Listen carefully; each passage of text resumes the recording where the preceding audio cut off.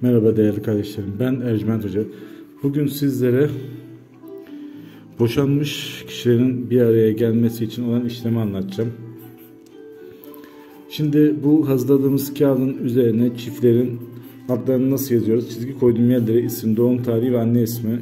Aynı şekilde karşı tarafında isim, doğum tarihi, anne ismi.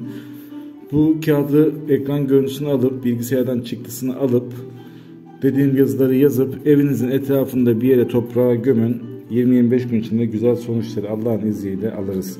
Arkadaşlar Ercüment Hocam Instagram kanalından bizlere yazan herkese ücretsiz yıldızlama bakımı yapıyoruz. Siz de bu bakımı yaptırmak isterseniz bana Ercüment Hocam Instagram kanalından yazabilirsiniz. Bekliyorum.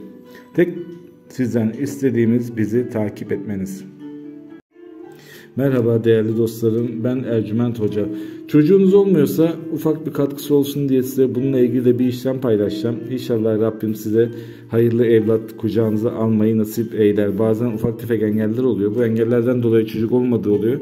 Bu işlemde faydası olan bir işlem.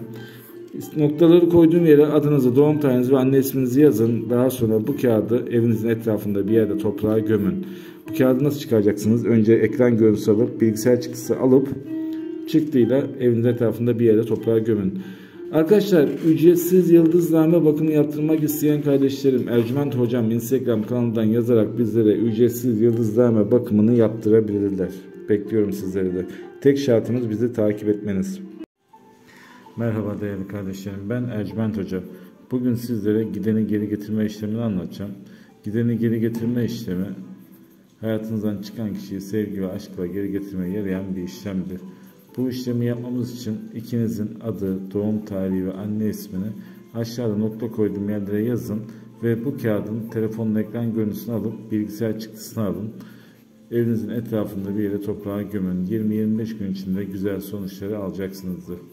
Ve arkadaşlar ücretsiz bakım yaptırmak isteyen kardeşlerim bana Ercüment Hocam Instagram kanalından ulaşabilirler.